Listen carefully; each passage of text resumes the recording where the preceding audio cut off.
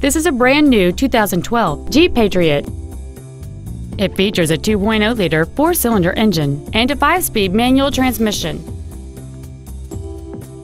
This automobile won't last long at this price. Call and arrange a test drive now.